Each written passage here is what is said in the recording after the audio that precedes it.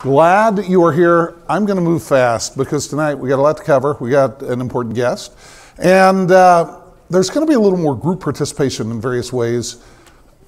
Some ways that we've never done before. All right. Could we have the opening little video clip, please? Now, please pay attention to this. I want you to learn something from it.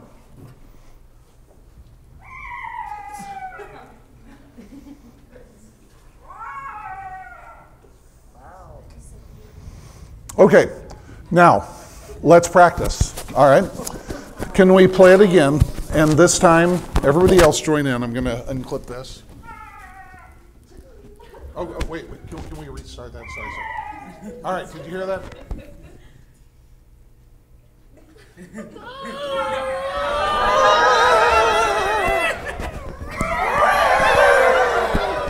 Okay, not bad for a bunch of amateurs. All right.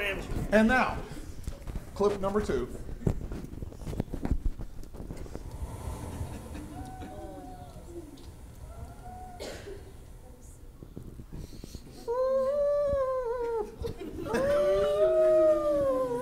Can we do that one again too, please? Okay. Okay. This does have application to tonight's Bible study. We are going to follow words of Scripture just a little bit later here. Um, glad you're here. We are talking about the prophets. The prophets, people who God said, okay, go confront, go tell people what's up, go speak in my name. Yikes. It was a rough world then. It's a rough world now. What's up with this world? Man, every day, every day you're finding out something bad's happening. Um, you know, spring break last week, there were riots in Miami. There were riots on South Padre Beach. There were, there, there were riots a bunch of different places. Um, in Springfield, Springfield, nice, Springfield, Missouri, we're having murders every week, sometimes every day. What, what, what's up with that? Um, the whole Me Too movement thing, you know, why, why doesn't No Me no and why doesn't Get Away From Me, you creep? Uh, why doesn't it have those, those words have meanings? Um, you know, about, I don't know, a year ago or so, I had all the CDs stolen out of my Jeep. CDs. Who, who steals CDs? It, the, the world is a mess, okay? The, the world is a mess. But guess what? Guess what? This isn't the first time. Sometimes it's easy to point fingers and say, hey, look at those guys, look at those bad people doing bad things. Whew. But what about us? Yikes. The last several months, We've heard some terrible, terrible stories about people who say they follow God, but who've done terrible things. And, and I'm not putting these up here to, to hold up these people. I think it's pretty widespread in America today, in, well, not just, just America, but other places as well. People who say, I love Jesus, I want to follow God.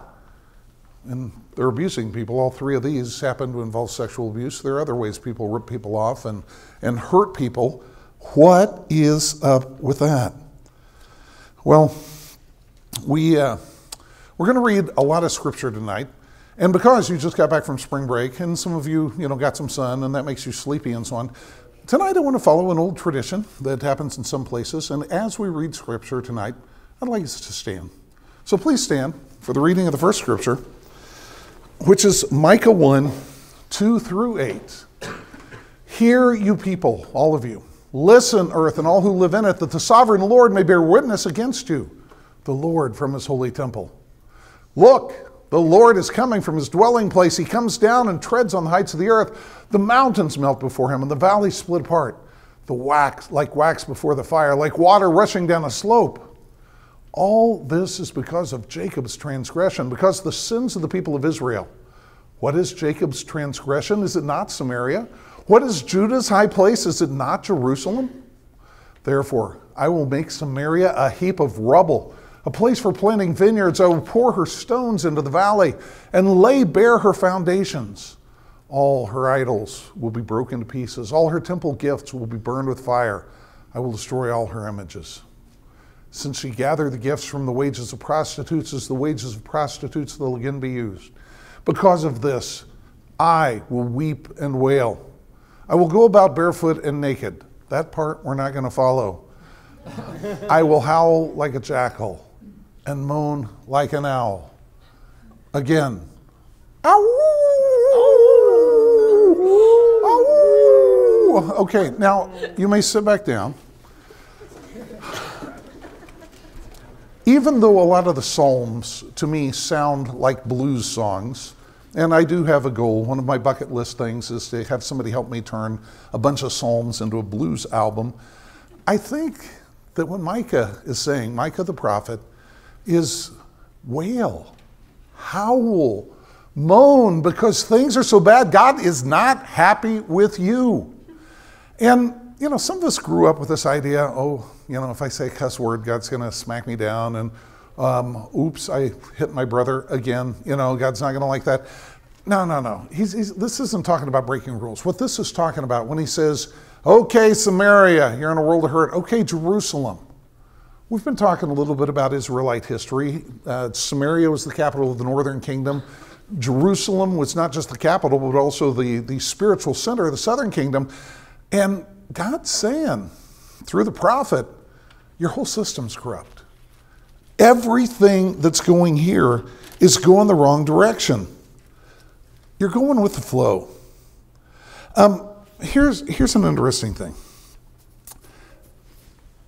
the Assyrians, and some of you guys are going, man, I didn't think I'd get this much ancient history at Campus House. It, it matters here. The Assyrians already had kind of their elbow on Israel. And well, Israel had already by this time mostly been taken away, on Judah. And what they're saying is hey, you know what? You people can go about doing your business, uh, take care of things. You can even have your own temple. But we're going to throw a few more gods in it. And the people of Israel just kind of said, well, hey, we got to go with the flow. We don't want to make people mad.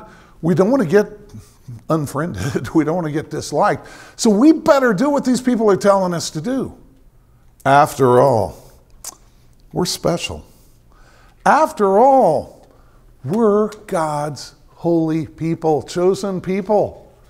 Yeah. Remember our father Abraham, God talked to him directly, said, I want you to be my people forever. And, and then he gave us this land, this great land. We love this land. It's our land. Nobody can take it away from us. We wandered off. We wound up in Egypt. God brought us back. He parted the Red Sea for us. And then he, ha- he put his dwelling among us. Over there in that temple building, that is God's presence. We're set. Okay? We are God's special people, and He'll always bail us out. Just like He did in Egypt, just like He did when all the Canaanites and Philistines and everybody was trying to attack us, just like during the times of David and Solomon when people attacked. God's going to come through for us.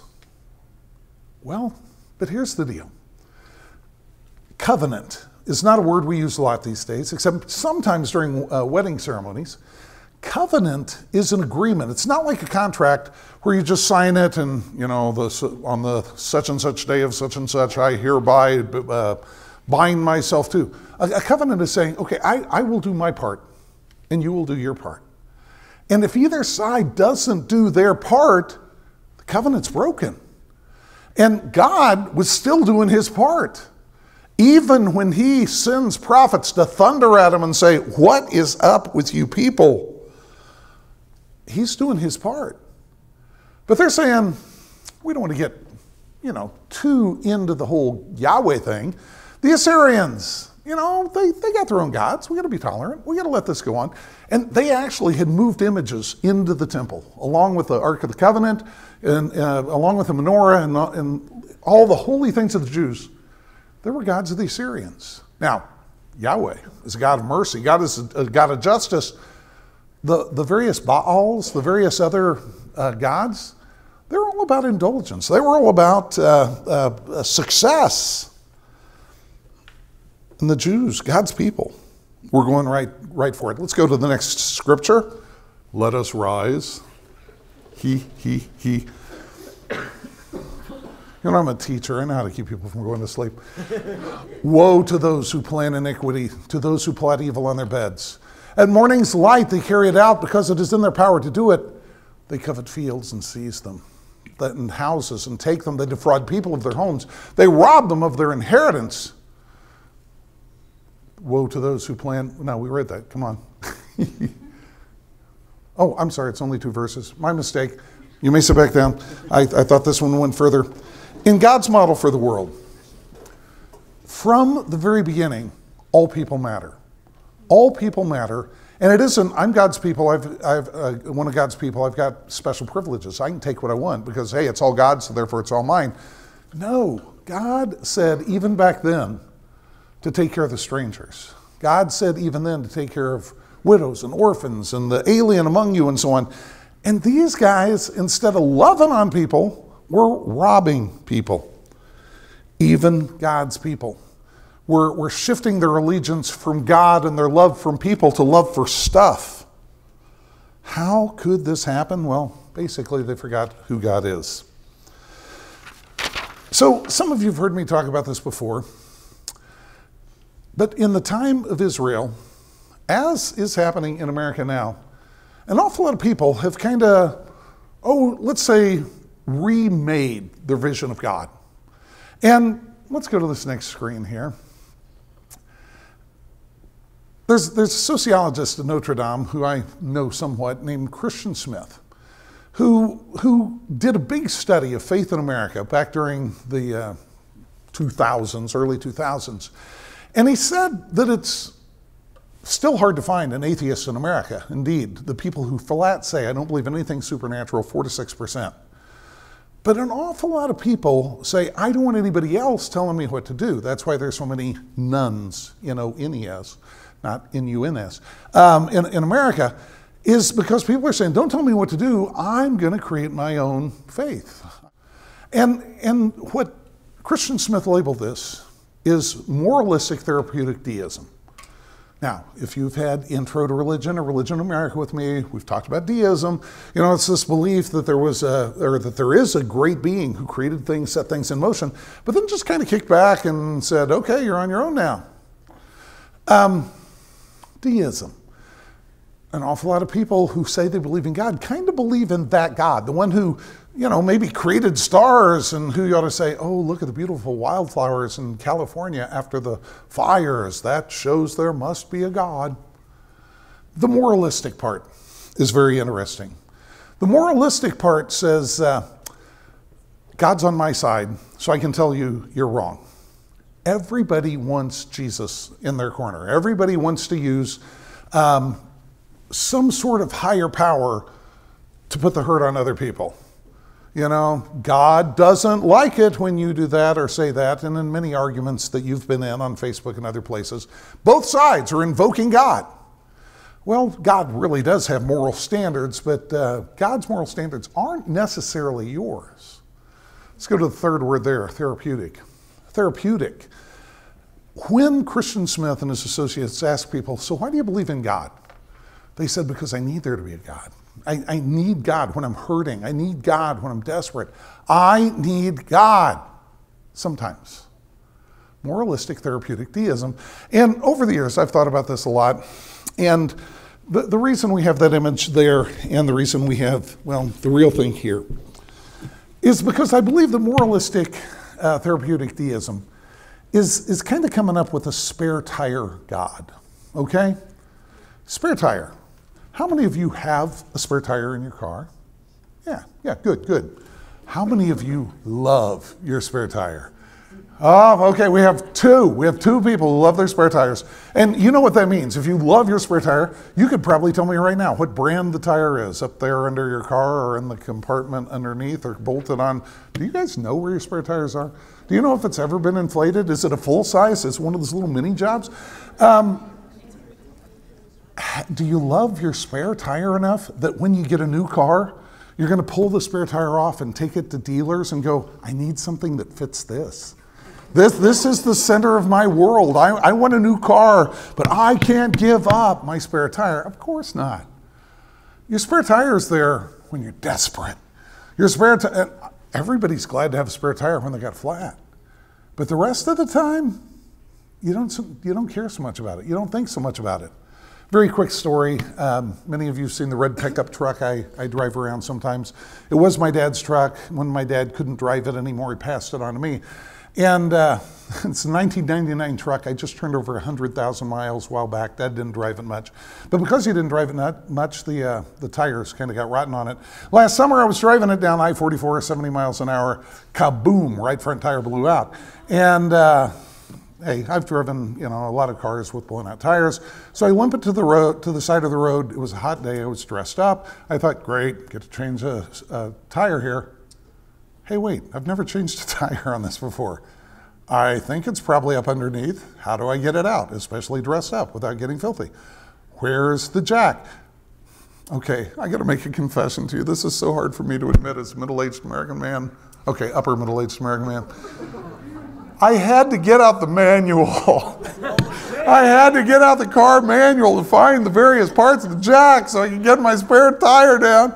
And it didn't match the other ones, and it looked stupid, but I'm still glad I had it, okay? And uh, is that God for you? Is God who you call into action when you got nothing else? When you're stuck by the side of the road? Apparently, by this point, that's where the Israelites were. Now, the rest of uh, uh, Micah 2, if you'll rise again. So, didn't they have people who were trying to keep them on track besides Micah? Well, do not prophesy, their prophets say. Do not prophesy about these things. Disgrace will not overtake us. You descendants of Jacob, should it be said, does the Lord become impatient? Does he do such things? Do not my words do good to the one whose ways are upright? Lately, my people have risen up like an enemy. You strip off the rich robe from those who pass by without a care, like men returning from battle. You drive the women of my people from their pleasant homes. You take away my blessing from the children forever. Get up, go away. This is not your resting place because it's defiled. It is ruined beyond all remedy. If a liar and a deceiver comes and says, I will prophesy for you plenty of wine and beer, that would be just the prophet for this people on Thursday, Friday, and Saturday nights downtown Springfield and a host of other places. All right, you may sit that back down. Spirit tire gods have their own prophets. And you know what they say? Exactly what people want them to say. You deserve it. YOLO. The prophets of our age don't necessarily always speak in front of a Bible study or work out of a church. Um, these are the symbols of some of our prophets. Uh, you've probably listened to a few of them. Um, you know, they got some some brothers and or, and sisters in the prophetic community, Tumblr and you know Instagram. Go down the list. You know them all. Well, okay. Let's go to the next slide here. We need mercy. Now, I got to tell you this mercy is not just simply uh, sympathy. Mercy is not even uh, just feeling for somebody. Mercy is looking at things that are wrong and saying, we, we got to fix this. Mercy is justice in action. Oh, that's the other word we're going to talk about in the second part of this text. Mercy is us acting on God's behalf regarding the people he loves. Before we move totally into the next text, I want to pause for a moment just to mention a recent occurrence that maybe some of you have misconstrued. If you'll go to this next. What about the Methodists? Campus House isn't specifically a Methodist group, although I genetically am 50% Methodist, okay? Um, and and I, can, I can show you on genograms and so on. And a lot of people, you, you may have heard that at their last conference, they, they this is a, a record of the vote actually. They went for the quote unquote traditional plan. For many, many years, the Methodist Church, which at one point um, had become quote unquote one of the most liberal churches in America, has struggled with this issue of are we going to take what the Bible says about sexual behavior and so on seriously, or are we going to, you know, just take whatever people want to do and affirm them in that? It has been something that's taken many years. It is something that they have struggled over. There were three different plans voted on in St. Louis just, what, less than a month ago, or maybe about a month ago. And the plan they came up with said, we are going to return to our more uh, uh, traditional roots. Oh man, it's created a firestorm storm on Facebook and Instagram, Twitter, and so on. People are going, they're haters. We thought the Methodists were nice. You know what? They, they didn't say anything about hating anybody. They didn't say anything about throwing people out of the church. What they said, largely due to the influence of the African community among the Methodists, is we want to take the Bible for what the Bible says. We still want to keep loving everybody, but there's certain behaviors we can't say are okay. You know, it's interesting in our culture that sometimes we go with the flow and we, we start letting the votes of likes on social media dictate for us what our, our moral standards ought to be. And, and there's this really odd thing in American culture right now that if you disagree with somebody, then you hate them. That, that, that, that's not true. We, we, you know, this whole idea of diversity, this whole idea of tolerance presupposes that people believe different things and do different things. But we're kind of in a day of what I call the new inquisition, where if, if you have the wrong idea, you're not worthy of life.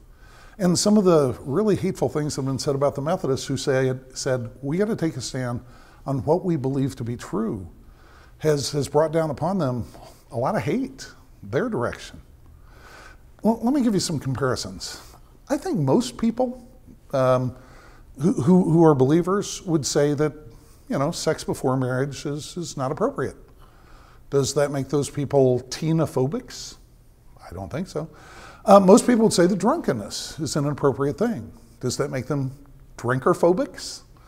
I think most believers are opposed to corruption. Does that make them politician phobics? Sorry, sorry for the little dig for anybody in political science. What I'm saying here is the prophets among the Methodists have said, even though this is wildly unpopular, look at that vote, um, you know, 56 to 44 percent essentially. Um, even though it's really close, we got to do what we believe God is telling us to do right. They aren't going to be standing out with signs saying God hates fags. They, they aren't going to they aren't going to be doing anything that demeans a single person. But on the other hand, they aren't going to let them do. They aren't going to approve people doing things they believe are harmful to them. Um, I have lots of stories, in part because I have children and grandchildren. And it was a big night when my youngest granddaughter, Maya, who uh, is one and a half, more or less, right now, um, when she walked. And it happened to be at my parents' uh, independent living apartment the night she started walking. And it was wonderful. She just kind of boosted her, boosts her little rear up and she starts toddling. And, and she just makes a, a lightning move for a, an outlet in the wall and tries to stick her finger in it. That's the first thing she does the night she walks. And, and uh, needless to say, multiple family members jumped in and prevented her from getting that really little finger into that really little slot. Why? It's bad for you know? Um, the Bible does not say that, but you can trust me on this. That, that, that's a bad thing for a one year old to do. This is what the prophets are about saying, we got to listen to God. We got to make wise choices. All right. Again, let us rise for the reading of Scripture.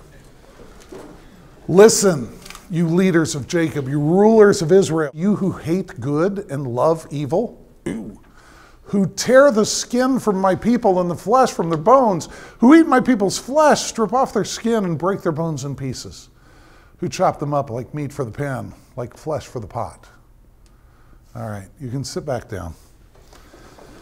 Um, there were a lot of things that we could say about this, but I want to ask you this question What do we do? What do we say? How do we respond to Christchurch, New Zealand? What happened there? I trust that even those of you who never look at anything other than Netflix and, and your social media accounts know that there was a horrendous, horrendous tragedy a guy went to two mosques altogether, shot about, well, shot exactly, killed 50 people, wounded 50 more people. And the outcry, of course, has been, you know, people are saying, how can this happen? What's going on? And, and I think sometimes when things like this happen, but it didn't happen around here, and it didn't happen in the church, and maybe we're a little worried about how do I respond to this? okay, these are people God loves. Every person who died there, every person who's in the hospital now, is somebody who Jesus loves deeply. We, we need to love them too. I, I don't know if you've noticed this about yourself. You know, the Ethiopian plane crash, the Boeing 737 that went down last week, two weeks ago, week ago, I guess. Have you ever noticed that sometimes you pay more attention when they start saying, in what was it, 31 Americans were on board? What? what? Americans? God doesn't love Americans any more than he loves Ethiopians or Kenyans or the other uh, uh, uh, identities who are there. God loves people. And if God loves people and he tells us to be like him, we need to love people. So, how do we respond? Well, not, not yet on that, if we can leave the other one up for a bit. Um, we, we respond with compassion, we respond with horror, we respond with praying for those families most of us probably can't go down to Christchurch for the weekend and do personal counseling with these guys. But you know what? That same hatred, that same white supremacist idea is in the Ozarks, it's in St. Louis, it's all over the place. We can't do something there, but we can do something here. Mercy and justice, that's what that last scripture was about. We can take some stands. Let's take the positive stands first. There are Muslim students on this campus who really, really fear, feel, feel fearful. How about you hang out with them? I don't know what to say. Talk to Shannon. She can help you know what to say to students from other countries. But basically, they're students here. They need work on their English usually, and sometimes are struggling in classes. You can talk, let them talk about their hometowns and their home countries. They love that. Shouldn't our attitude to all of God's people be that of love and, and outreach. You know, now kind of the negative side. Um, well, okay, l- let me say this. Islam, a lot of people don't, don't really understand Islam in America, and they let social media tell them what Islam's about. Um, back when Barack Obama was elected president, I started getting emails from people talking about how he was a closet Muslim and how he was in a sleeper cell. And he was going to become president and then turn America into a Sharia republic, or not republic, uh, uh, uh, monarchy, and all this sort of stuff. And I refuted those things. I don't do social media, did all this with uh, email. And, and I've studied quite a bit, taught quite a bit about Islam. I refuted a lot of the points they made. And I get emails back from people saying, Why do you hate America, Dave? I don't hate America, but I don't hate Muslims. I, I, I, don't hate people who believe things differently. God created us, God wants us to love each other. We, one of Dave Embry's uh, first rules of evangelism is you're, you're never going to win anybody to Jesus who hates your guts or who thinks you hate their guts, okay? Um, we, we need to be salt, we need to be light. All right, I, I'm going long, and I'm sorry about that. So we aren't going to sing Jesus Loves the Little Children. I'm sorry, we can buzz right past that. But I want to share a quote with you from Dostoevsky. At some ideas, you stand perplexed, especially at the sight of human sins, uncertain whether to combat it by force or by humble love. Always decide, I will combat it with humble love. If you make up your mind about that once and for all, you can conquer the whole world. Loving humility is a terrible force, not terrible in the sense of bad, but monstrous. It's big. It is the strongest of all things, and there's nothing like it. All right. We're, we're actually going to skip a couple of texts because I talk too much. All right. I do want to go to the next illustration, though. Can we go about two, two slides? That's the one. The basic idea that Micah is saying here is biblical faith does not start with what's in it for me. Biblical faith does not start with what's going to make me feel good, what's going to make me happy, what's going to make me um, the top dog in any given situation. Biblical faith, according to Micah and all the other prophets, says, uh, What does God want? How do we do that? God is not our genie. God is not bound by some sort of contract for us. We too, today, according to Romans and other texts, are in covenant with Him. But again, that covenant needs to be honored on both sides. If we can skip ahead to Micah 6, 6 through 7.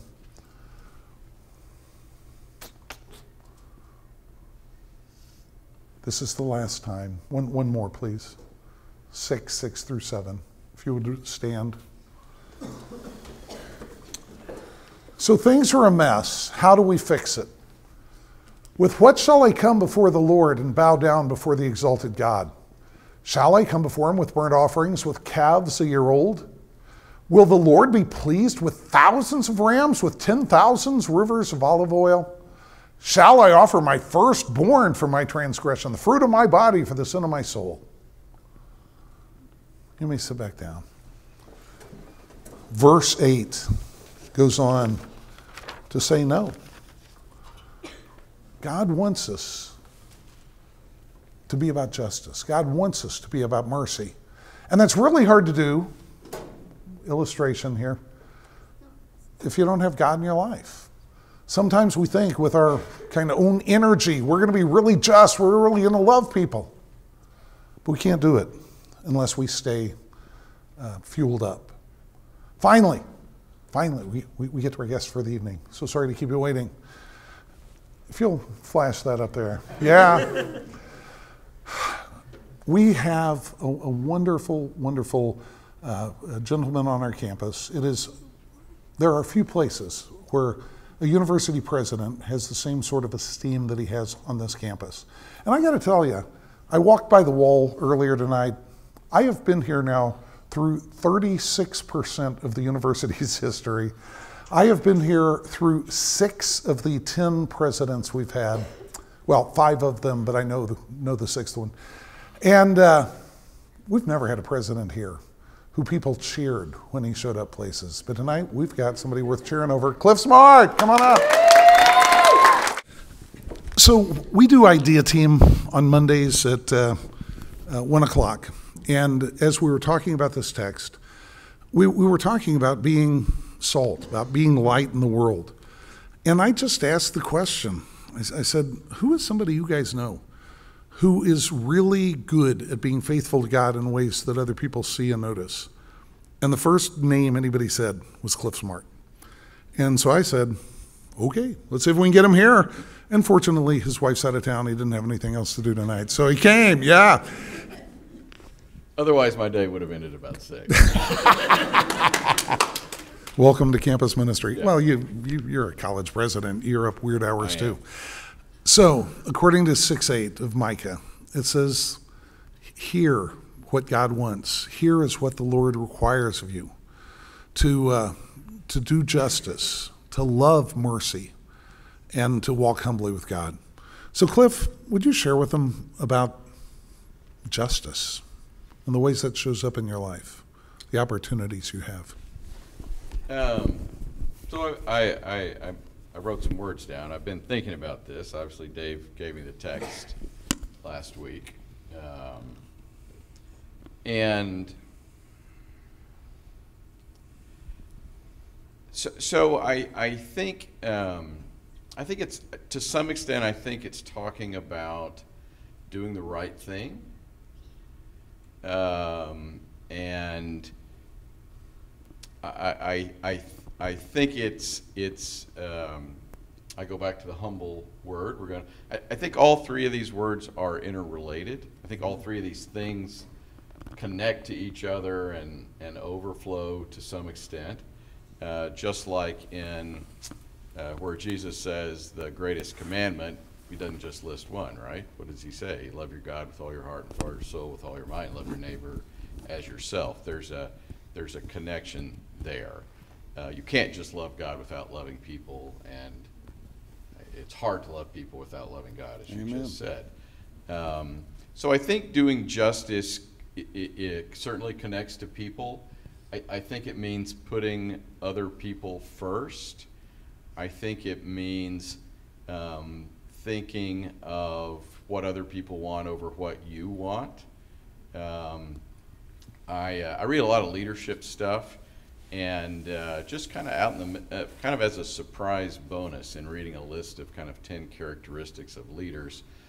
Uh, le characteristic number six was the golden rule plus one. We all know the golden rule is treat others the way you want to be treated. The problem with that is you may not want to be treated the same way I do. you may like different things that I like. But uh, the golden rule plus one is treat people the way they want to be treated. I think it's, I think there's a, a sense of, of um, truth matters. There is truth. I think it's not cheating people. I think it's treating, um, making sure um, that if people don't follow that rule, there are consequences. Um, I I think it's, it's, um, I think it's uh, living a moral life. Uh, I think it's the tone with which you interact with people. Um, you know, there, I saw a poll recently that said uh, most white people in America, more than half, are angry every day. I found that astounding. I'm rarely angry. um, I, I, I think it's living a life with thankfulness and um, seeing God's blessing in everything and and making sure to the extent you can that people are treated fairly and not taken advantage of. I think that's a piece, you know, I was thinking of another scripture in James that talks about what's true religion caring for the oppressed, i.e., orphans and widows, uh, living a moral life. And so I, I think. I, I think it's a really overall, I've been rambling a lot, but I think it's mostly a sense of uh, treating people fairly and to the extent you can, making sure uh, other people um, um, are not taken advantage of. You know, we did a climate study probably before any of you guys were here. Anyone get the email this week or last week, new climate study? Yeah.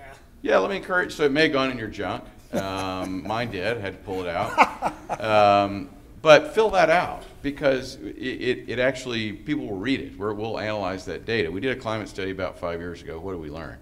We learned that uh, people that are not in a majority group don't feel the same sense of, of welcome on our campus. So that could mean you're African American, it could mean you're born in a different country, it could mean you have a different sexual orientation, could mean you're very conservative, could mean you're evangelical, could mean you're Muslim. You know, anyone who perceived they're not in the main group felt less welcome and, and less attached to the university. Well, we want to we want to fix that, right? And so I've had, you know, both situations. I've, I've had where a faculty member in a in a random class stands up the first day of class and just rants about how bad the president is. Well, okay, I'm not a big fan of the president either, but that's not appropriate in an introductory English class, right? Uh, and so we had to take action to stop that. You know, or you have a faculty member who uh, gives an assignment to write about what's the most important thing in your life, but tells you you can't write about God. That's not acceptable. We've got to fix that, right? And so, a big piece of what I try to do is is to create a culture and a climate where everyone equally feels welcome and connected to the university, whether you're evangelical or Muslim or nothing, whether you're black, white, or Hispanic, whether you're gay or straight or nothing, whether you're a transgender student. The, the goal is everyone uh, feels, has a good experience in the university, gets the education they want, leaves here um, having broadened their horizon and mind, but feeling connected to the university. And we don't just want that for our middle-class white uh, Greek congregation, right? That's, that's not the goal. We want them to be, we want them included, but we want it broader than that. And so I think that's a, a piece of what doing justice is. Absolutely. And as you said, these are all interrelated, so loving mercy. So one of the translations, I looked at a couple of translations on this, and uh, the New American Standard Bible says to love kindness. Yeah, good. It's one of my favorite words. If you guys follow me on Twitter, and I hope everyone follows me on Twitter, at Clif Smart, one F. Um, I started Instagram a couple weeks ago too. So. Um, We'll get to that. I, uh, um, I talk, I, I talk about kindness a lot. um, because I think how we interact with other people really is says who we are. Um, and so, um, I on Sundays when I do a quote, a lot of times it references kindness. When um, I meet with all of our new employees once a quarter, everyone who's a new employee comes for breakfast, and I visit with him about how how important it is to work at the university, no matter what your job is. And I tell him this story. Uh, this guy named Joel Manby became a rich guy, CEO of a big corporation, big corporations. I think he's at SeaWorld right now. Um, uh, tells his story. He's 18 years old, uh, all-state football player, quarterback of his football team, going with his mom to his senior high school football banquet. A couple of freshmen come up to him, also on the team. Hey, Joel, want to talk to him? Just ignores him and walks right on by. So they get around the corner, and he says, for the first time in his life, his mom jacked him up literally against the wall and said, Never do that. You just treated those people as if they didn't exist, as if they had no value. When you interact with someone, you either make their day worse or you make it better, and you just made those kids' day worse. And so I tell that story, and then I say, as you interact with each other, as you interact with our students, the goal is in every interaction to make someone's day better, not worse. Even if, it, and then I say, especially our students, struggling with a lot of things sometimes, they may not deserve it. Even so, work to make their day better. And I say I don't hit that 100% of the time, but that's the goal. And so I, I think um, that kindness or mercy, particularly when it's undeserved, uh, is a really important characteristic. And so when God says, um, here's, here are the three things I expect you to do, I think that's an important thing. Absolutely. And as we've both noted, we, we, we aren't good enough on our own to keep doing this. On, on our own, we, we run out. We, We get tired. we get tired, we burn out, we, compassion fatigue sets in, et cetera, et cetera. How do you stay charged up? How do you personally walk humbly with God? Um, um, you know, sometimes better than others. Sometimes I, uh, the, the tire analogy hit a little too close uh, to home here tonight for me, I think. Um, because sometimes we do lean on God when we're, you know, the plane's bouncing really hard and you want to get to the destination. I, I, I do think um, for me, the regularly talking to God, uh, I think going to uh, worship experiences like this are important. I think reading scripture is important. I think engaging in people's lives, whether you're a mentor, I'm officially a mentor of a young woman through the network who's, you know, a 36 year old professional, but I think it's more, more than that kind of thing. I think it's being encouraging to people. Um, and, you know, for me, I think it's um, walking with God means you talk about God. You're not ashamed that, you have a relationship with God. Um, that, that doesn't mean you inappropriately try to squeeze God into every conversation you have. That's not what I'm saying. But I think there, I think there are ways for me, for example, that, that even in my position at a public university, that I can talk about God. And so sometimes I give a commencement speech and I will li- list a whole f- list of things that I've learned since I graduated from college. And one of them is it's important to have a relationship with God. Or you quote scripture as a part of uh, a conversation or in a class. And you don't even necessarily have to say you're quoting scripture, but other people will know that you've done that. But I think most importantly, it's, it's uh, um, you do need, um, you know, so I've had an amazingly busy two weeks 11 days on the road, 14 hour day yesterday, another 14 hour day today. Um, it wears you out. Um, you're responsible for the last two hours today. Um, but um, um, I mean, for me, I think a part of it is getting away, right? And we saw Jesus did that in the Bible. I mean, for me, at least once a quarter, I just have to get away from everything, and that means going out of town and just um, kind of unwinding. It takes probably a day just to unwind from the phone and, and all the stuff you have to keep up with, and and um, that's helpful. Jesus was not well known for keeping the Sabbath all the time, but he spent Um, he spent time with God, Right. and he seized it when he could and where he could, and sometimes it was uh, not convenient for others when he did. But we can't run on empty. We can't run on empty. Right. I agree. All right. Would you mind if I prayed for you? No, Right no, here and now. I'd appreciate that. And if the band wants to come up while we're praying, Lord, thank you so much for Clif Smart. Uh, thank you for bringing him to where he is. Um, I truly believe he's he's the uh, man uh, we've needed to be president uh, during this time. Father, thank you for his compassion. Thank you for his justice. Thank you for his commitment to uh, grace and truth and kindness. Lord, thank you that he sacrificed some time. He could be doing something way different than this to be here with us. And uh, Father, I ask you to sustain him, to give him supernatural energy, supernatural joy as he goes about all the different duties of the day, some of which are not pleasant, some of which involve very hard decisions, some of which involve uh, very deep challenges. Please give him wisdom. Please continue to give him wisdom. Please continue uh, to, to give him a sense of peace that as he is walking with you and, and using your wisdom to help make the choices he does, that he's not going to go wrong. Father, thank you that he, he loves the students in this room and every other student on this campus. And thank you that we have the chance to love him back. In Jesus' name, amen.